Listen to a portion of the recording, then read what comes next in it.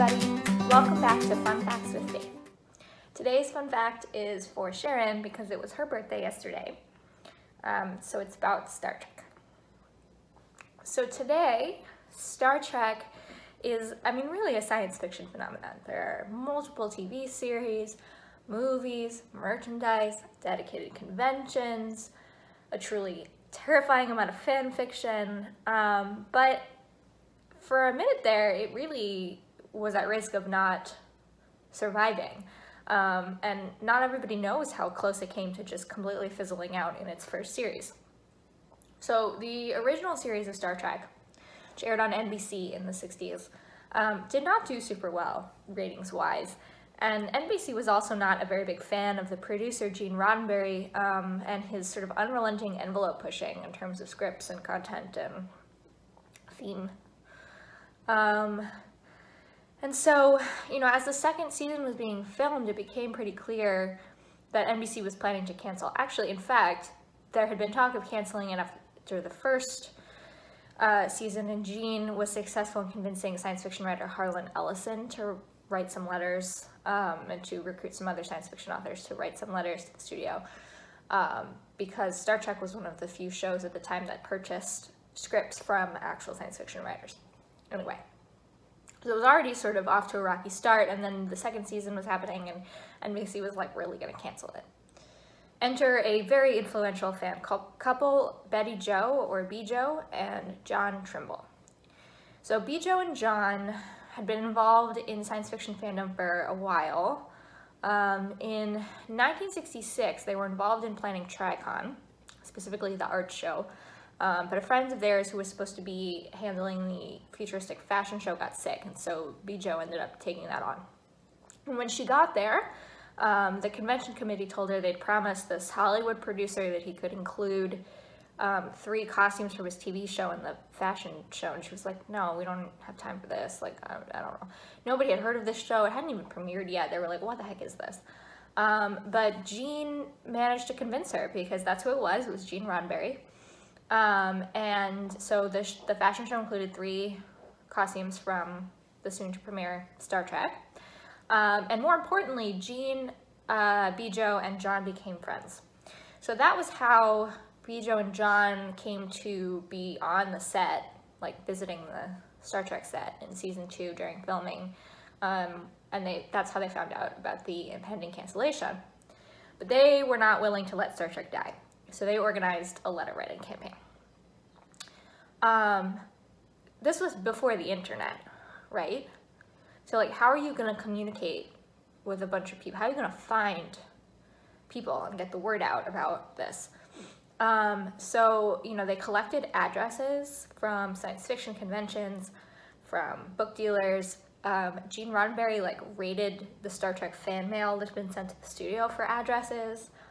Um, and they made these like newsletters that had instructions on how to write a letter and mailed them out to these addresses and included a request to pass the information on um, to at least 10 other people. So it was like a, it's like an old-fashioned chain letter.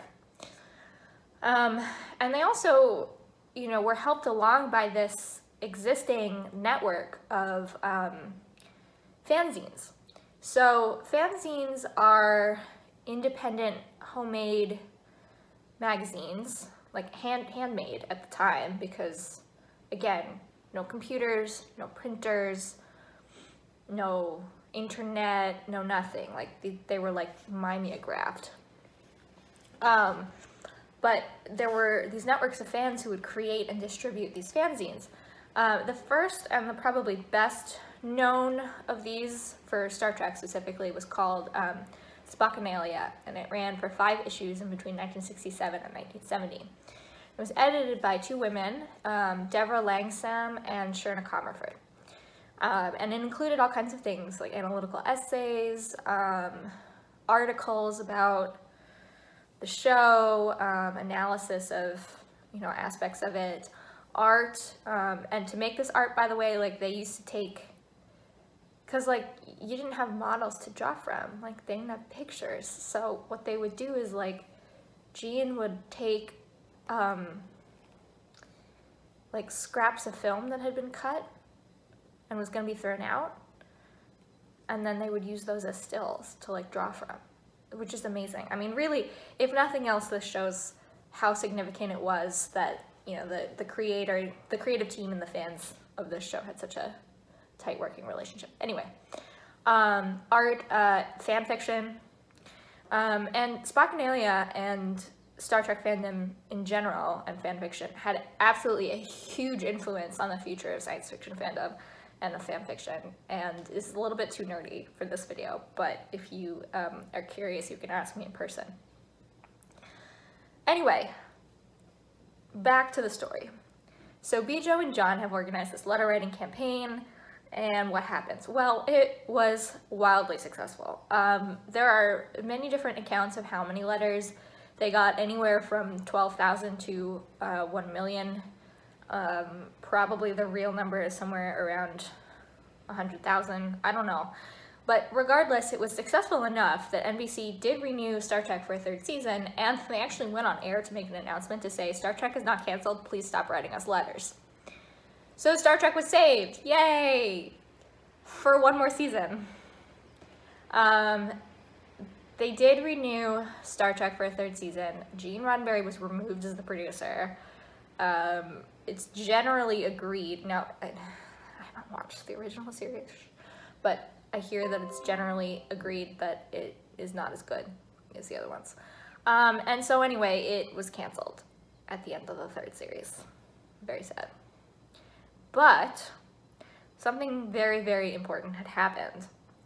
By saving it long enough to get a third series, they had made it possible for Star Trek to enter syndication, i.e. reruns.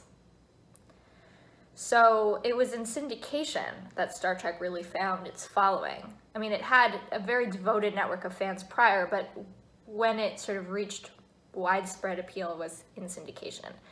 Um, and so without syndication, it would not have gone on to have more series. It would not have had the movies. It would not be sort of the, the phenomenon that it is today.